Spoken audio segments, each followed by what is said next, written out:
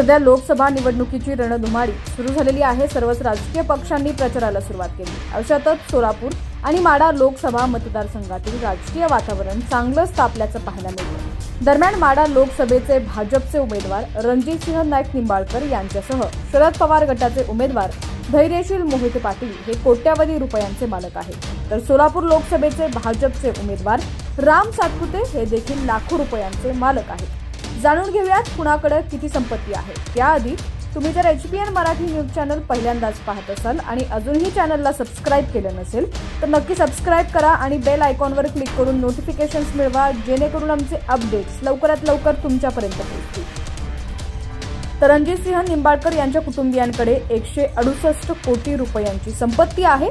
नाईक निंबाळकर यांच्याकडे आलिशान गाड्यांचा ताफा मर्सिडीज फॉर्च्युनर गाड्यांची मालकी आहे. तसंच नाईक निंबाळकर कुटुंबियांकडे सत्ताहत्तर तोळे सोने असल्याची माहिती आहे. मात्र निंबाळकर यांच्यावर तीस कोटी रुपयांचं कर्ज आहे. तर दुसरीकडे विरोधी उमेदवार धैर्यशील मोहिते पाटील यांच्याकडे देखील कोट्यावधी रुपयांची संपत्ती आहे. धैर्यशील मोहिते पाटलांकडे चाळीस कोटी रुपयांची संपत्ती आहे तर मोहिते पाटलांकडे आठशे सत्त्याण्णव ग्रॅम सोनं आहे पण धैर्यशील मोहिते पाटील यांच्या नावावर एकही गाडी नाहीये. तर मोहिते पाटील यांच्यावर एकतीस कोटी रुपयांचं कर्ज आहे. राम सातपुते यांच्याकडे एक्क्याण्णव लाख रुपयांची मालमत्ता तर शंभर ग्रॅम सोने आहे. माडा लोकसभा मतदारसंघातील लढतीकडे संपूर्ण राज्याचं लक्ष लागलंय. या मतदारसंघात भाजपनं रणजितसिंह निंबाळकरांना पुन्हा तिकीट तिकीट दिलेलं आहे. त्यामुळे नाराज झालेल्या धैर्यशील मोहिते पाटील यांनी अखेर शरद पवार यांच्या राष्ट्रवादी काँग्रेसकडून निवडणूक लढवण्याचा निर्णय घेतला.